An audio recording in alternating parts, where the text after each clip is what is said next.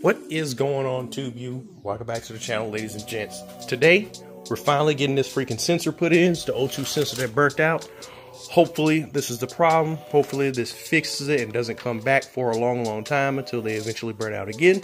That's what sensors do eventually over time, especially with turbo slash E85 cars. They do go bad over time, but um, hopefully, this lasts a, a, a lot longer than I need it to.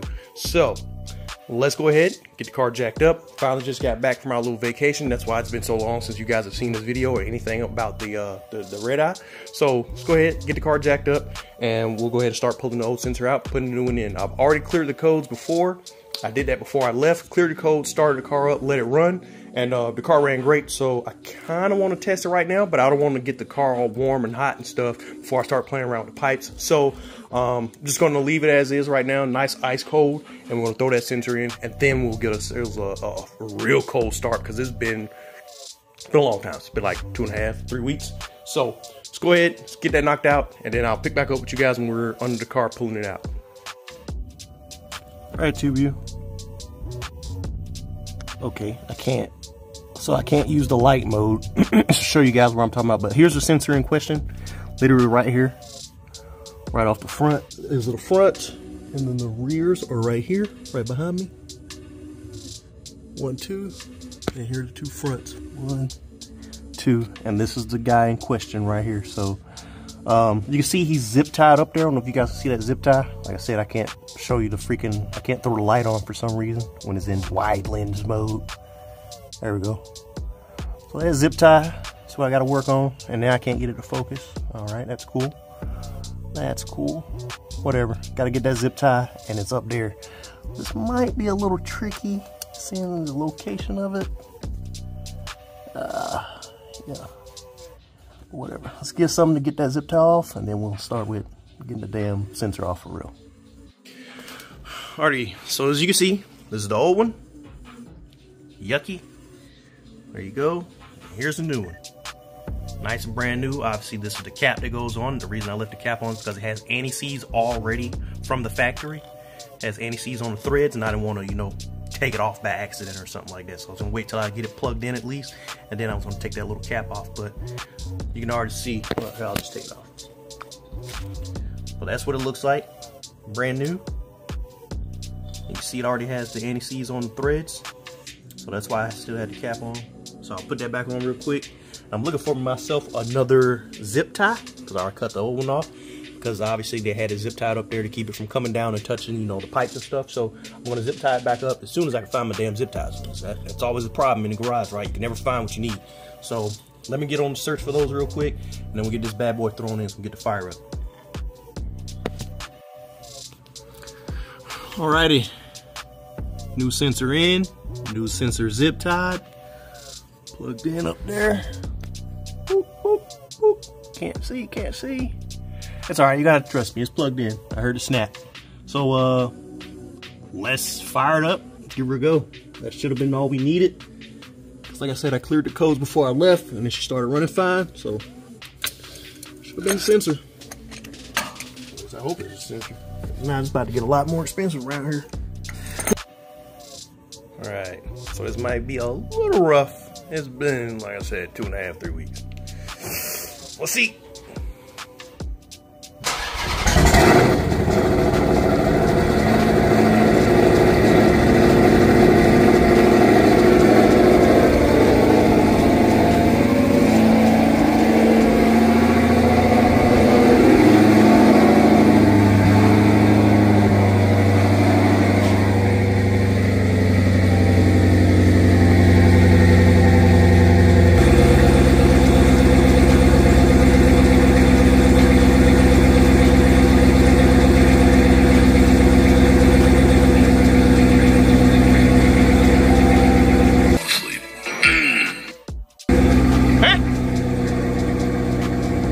Still got the code. As you can hear, it's idling just fine. P0300. I don't know what the hell that is. Well, I'm gonna Google that real quick. I guess see what the hell that is. Now, I'm surprised it fired up so easily. I guess it is a million freaking one degrees out. Look at all that damn oil. That car just sat there and leaked all that oil. Jesus Christ, man. That's not good. One problem after another. So, go ahead and shut her down. Oh, crap. Forgot I started it.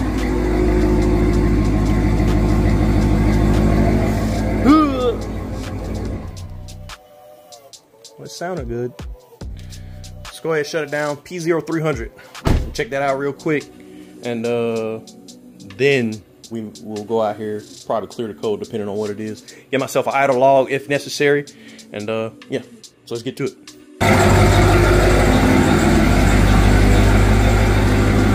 Oh, all right, Tube U. Um, yeah, I cleared the code, took it for a spin, still nothing popping up. I've started up and let it idle a couple of different times now. You can see, press OK for the view. Checking,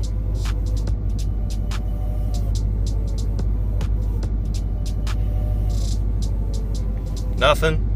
So yeah, now I'm just waiting to hear back from Tim on the idle log. Like I said, I don't really want to go out here and start ripping on it, but I did take it down the street just to, you know, cruise down and back and see if I can get that code to pop back up. But it's been, I've started up and, you know, let it idle for quite some time now. Um, this is the, like the third time that I've started up after clearing the code and that code hasn't come back. And I don't feel a weird idle or anything. Hell, I'll even get on it just a little bit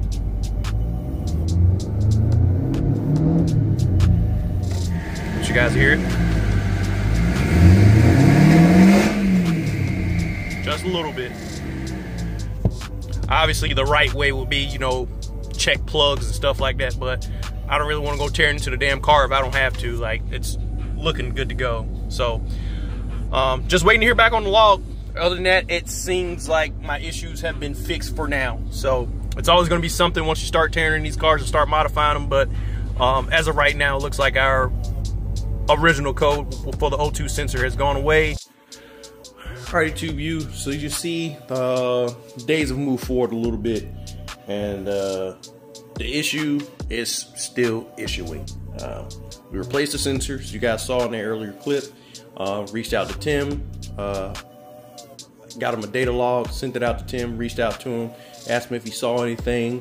Uh, while waiting for him to get back to me on whether or not he saw anything, I started up the car, drove it down the street, came on back, and before I took it down the street, we had a code that said P0300 running lean. So I was like, okay, that's probably because of the sensor. That's probably, you know, coming off of that same deal. So I was like, okay, just clear the code and uh, let's see if it comes back. Clear the code because the car was running and, uh, you know, it was idling just fine. So I was like, whatever, clear code. Cleared the code, took it down the street, came back. Fastest we got up to was about 15, 20 miles an hour. So it didn't do anything crazy. I just wanted to see if the car would drive. And it drove. I didn't get any weird vibrations, no weird uh, stutters, no weird uh, idles or anything like that. The car was running just fine. Uh, bought it back, set it down, waited for Tim to get back to me on the log. If he saw anything, he saw there was no fuel pressure. We're sitting at about 17 psi.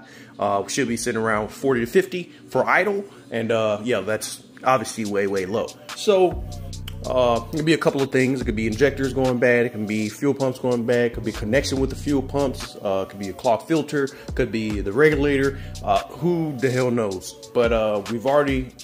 I, he got back to me, had me freaking play around with the uh, regulator for a little bit. So that's hiding up under here. You guys can see, there it is. There's the freaking little nut right there where you can adjust the pressure. Let's see if I can get that for you. Right there, pressure adjustment and all you do is, you know, turn that little guy right there. There's a little Allen key, and then you lock it down to wherever you want it to with the nut on top. So, changed it, turned it all the way up and all the way down, and there was no change. Um, so yeah, don't know if that would be a regulator problem, if that would be somewhere else problem. Because the funny thing is, um, I actually went back and looked through all of the logs, and we've had low fuel pressure since I got the damn car back. My very first log, we were only sitting at around 20 to 30 psi. That's driving. That was driving. That wasn't even idle because I didn't take an idle log. I took actually, I think I did take an idle log. It doesn't matter.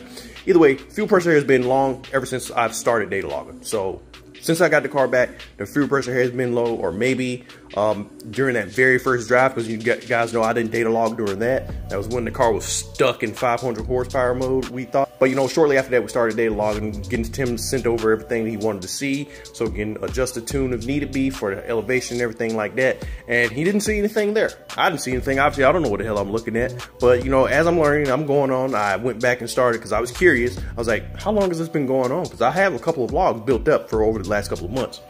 And uh, yeah, it's been going on for quite some time. So we've had low fuel pressure for quite some time. And the reason we haven't noticed is because once I go wide open throttle, the primary pump kicks in and all hell breaks loose, all boost comes in, and we're good to go. Pressure returns to normal. We're sitting at about 80 to 90 for pressure. So yeah, the primary fuel pump kicks in when we go wide open throttle, and that's why we're good to go. However, if you guys go back and watch those clips, the 6130s and stuff like that, you will hear a slight miss, and then just all hell breaks loose. You hear it go boom, boom. It, it, that's I think that's why it's been sounding like nitrous. And if you guys remember one of my other videos, I mentioned how there's a slight stutter when I'm cruising around and you know, part throttle, when I'm doing part throttle driving. Um, I'm pretty sure that's where it was coming from because you're not wide open throttle, so your primary pump isn't kicking in, and you're just doing, you know, part throttle driving around. So you're just running on the two fuel pumps that are running around here on low fuel pressure. So I think that's where that stutter slash hesitation was coming from. And I've caught it quite a few times on uh, video, but uh, you guys might not pick it up in camera. On camera, it honestly looks like I'm driving, but I can see it because I know when it's happening. Um, so yeah, so I think that's where that's been coming from this entire time, and that explains a lot. Hell, I even tried to do some digs, and when I would try to do digs, the car would just fall completely on its face, and then all all, all boost would come in, and it would just go into a wheel spin. Like it, uh, as soon as I come off the brake and start rolling into the throttle, it just freaking dies, and then picks back up like crazy, and then we're off to the races. So yeah, Obviously, I thought that was tune related. I was like, okay, we need some adjustments there. But no, um, turns out there's something going on with the fuel system that we need to get figured out. So that's where we're at right now. I don't want to make this video too long, so I'm probably just going to shut it off here because it is the weekend. Um, Tim is out doing, you know, family stuff. Obviously, he's a business, he's a family, he, he's a person, so he needs to work and do or uh, relax and stuff do as well. But uh, I'm not too crazy about it. It's too damn hot to be racing any freaking way, but um, if it comes down to it, if this is not something simple and easy to fix, the car will be going back to the East Coast. Um, I want the car closer to them. They're the ones who touched it. I want them working on it. Um, I, am a firm believer. If it, I, I, don't believe this is a shop problem. I believe this is a product failure, uh, probably from Ford or something else with the car. So I believe this is a product failure. It could be an injector as well. So it could be ID's problem. Um, it could be anything fuel related from what it seems like. But um, so I don't believe it's a shop install problem because, like I said, he dynoed it. He, you know, it, it, everything was normal. He sent me the pictures of the logs and stuff when he had it, and everything looked normal there. But once I got it, between here and there, um, as you can see, the pressure hasn't been too great. So, like I said, if the problem isn't easy, if it's not an easy fix, the car will be going back to the East Coast and it will be staying on on, on the East Coast for the, the time being. Uh, their shop is in Georgia. I stay in North Carolina. So if this isn't fixed, the car will be going back to the East Coast and it will be staying over there simply because um, I'm closer to there. I've been trying to get closer to uh, the home for quite some time, and uh, hopefully that time is coming up soon. And if it does, cool. It's, this is one less thing that I have to worry about when it's time to move. Um, I would like to have this fixed easily and out here so I can actually enjoy the car and get content for you guys. But I'm not going to sit here and keep dumping money into it, trying to chase problems down um, on my own when I could just send it back to them, let them figure it out because you know they're the ones who put everything together, and uh, that's that's that's probably what'll end up happening. If it's not a simple and easy fix where I can just go in here like, oh, that's easy, something simple. Because I feel like it's something simple. Um, obviously, it's very dangerous because you know if this car leans out when you're wide open throttle, that's that's a big problem. That's a big freaking problem. We have a big dud on our hands if, if that would have happened. Uh, fortunately for me, the primary pump was kicking in and the car was not going uh, lean. So good there. Um, I will start it up for you guys, but it makes a lot of freaking like dinging and whining noise. I will just show you guys. Here you go. I'll just show you what we're looking at. Keys already in here. See if you guys can hear the, the pumps priming. So a pump is working. That's the problem with triple pumps. If one of them goes out, you don't really freaking know until it's too freaking late. Um, let's get up under here, show you guys. Yeah, see, sitting at about 17 right there.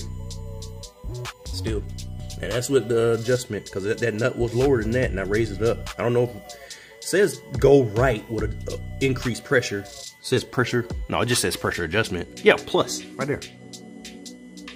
So plus is going up, so more pressure if you go to the right. And I turned that shit all the way to the right till it stopped. I'm like, I feel like it should do something, and it didn't. Even with the car like actually started and running, it doesn't move anywhere. It'll jump up a little bit past 20, like 21, 20, and then just slowly fall right back down. So, that's all I got for you guys, man. It's first time stop by, like, subscribe, hit the bell icon you guys get notifications when you're up. Swing to the Instagram channel, low, three seconds slow. All one word, I'll put it down in the description. And, uh, I don't know. Until next time, I guess. Whenever we get some progress on the red eye. Would have been nice to be out enjoying it, but here we are. Not out enjoying it. But this is what you get. This is what you get. And my breakfast is ready, so I'm out of here, guys. Catch you in the next one.